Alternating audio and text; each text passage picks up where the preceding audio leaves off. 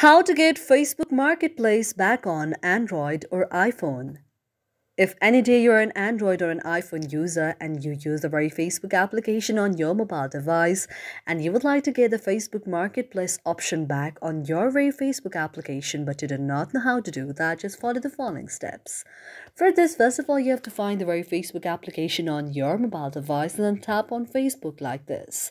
After that, you have to tap on the I like option and after tapping on I like option, you can see an interface like this.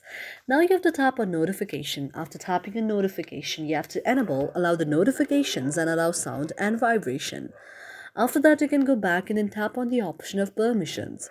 After tapping in permissions, you have to allow the permission to calendar, call logs, camera, contacts, location, microphone, nearby devices, notification phone, photos, and videos.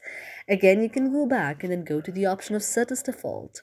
After tapping on set as default, you have to enable, open the supported links, and then go back again. Now you have to tap on the option of storage. After tapping on storage, if you see any of the cache out there, you have to go to the option of clear the cache and then go back again.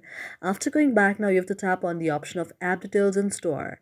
After tapping on app details in store, if you see the option of update out there, you have to update your very application and this way your problem will be solved.